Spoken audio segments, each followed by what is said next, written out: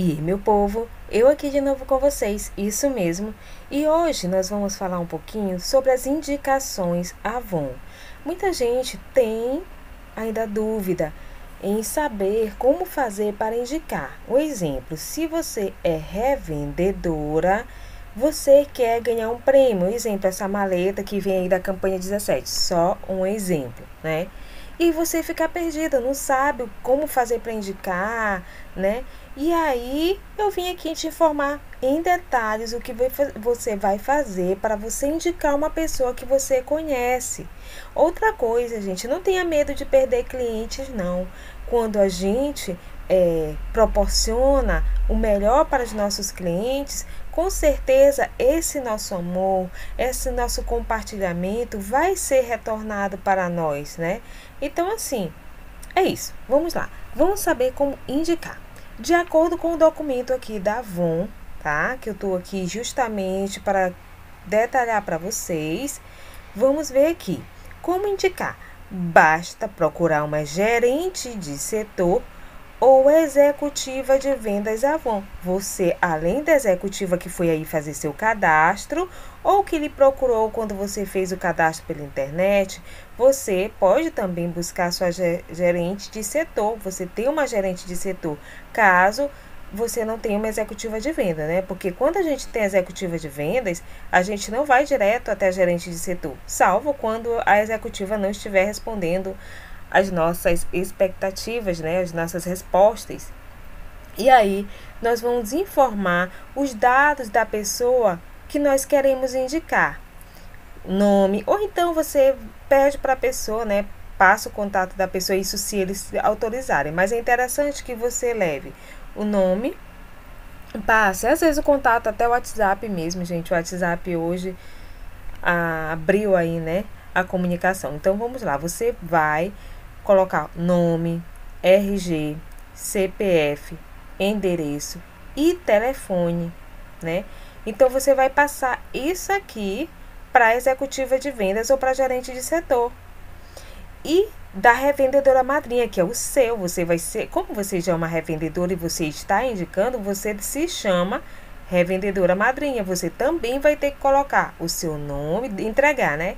Seu nome, seu endereço, telefone e registro cadastral, porque, gente, esse registro cadastral, se não tiver na ficha, quando a executiva fizer o cadastro, você perde.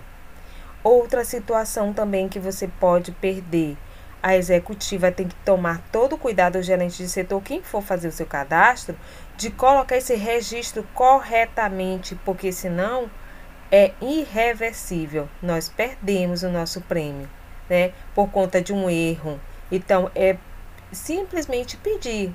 E a executiva, ela sempre está atenta quanto a isso, porque é também de, ah, vamos dizer, para que ela ganhe, né? É também de interesse dela que ela coloque tudo correto, né? Então, vamos lá. Quais são os pré-requisitos para que seja uma pessoa seja um novo revendedor Avon? O que, que eu tenho que me preocupar na hora de indicar, né? Vamos lá, a pessoa tem que ser maior de 18 anos de idade, ou emancipado civil devidamente comprovado, tá? Então, tem que tomar cuidado aqui, porque já houve situações, né, de que as pessoas, a executiva ou a executiva, a gerente, eu, vamos dizer, vamos dizer, eu como executiva, Aconteceu uma vez que se eu não tivesse atentado para a idade na hora do preenchimento, eu tinha mandado porque no às vezes no papelzinho, no cupom, né, no formulário que a gente preenche não pede a idade. E aí você tá querendo aquele cadastro, tá muito naquela ativa de querer fazer ser uma revendedora e não atenta para a idade da pessoa. Aí lá vai 17 anos. E aí, a Avon não vai aceitar. Então ela tem que ser maior de 18 anos, tem que apresentar o RG, a cédula de identidade, né? E CPF em seu próprio nome. Tudo é no próprio nome da pessoa. Apresentar um comprovante de residência atual, tem que ser atual. Por exemplo, uma conta de luz, né, ou de telefone, ter sua proposta de cadastro aceita pela Avon, porque na hora que a executiva coloca isso tudo aqui no que hoje o cadastro é feito todo via online, né? A executiva, a gerente, eles têm uma página onde eles inserem todos os dados. Esses dados eles são enviados para a Avon e tem um período que ele vai ser aprovado. Por quê? Pode ser que haja restrição no CPF, a pessoa já foi revendedora e o exemplo não pagou, passou cinco anos e acha que a Avon tirou o nome dela de lá dos seus do seu cadastro, né? Então tem muita gente que pensa assim. Então vai ter que aguardar a aprovação de ser ou não ser, tá? E aí, caso a pessoa não atenda os pré-requisitos solicitados, mesmo depois que eu envie, né? É, pela Avon para se tornar-se uma revendedora, a Avon não vai te comunicar e nem te notificar que a pessoa não, não atendeu os pré-requisitos. Aí você vai ter daí a importância do seu contato com a sua executiva, porque a executiva sempre vai estar informando, tá? Então, gente, são esses os dados que bem simples, né? Mas que pode ser de grande importância para você, é, que Pode ser que tenha alguém que tinha uma dúvida, tá? Então, assim, espero que tenham gostado do vídeo.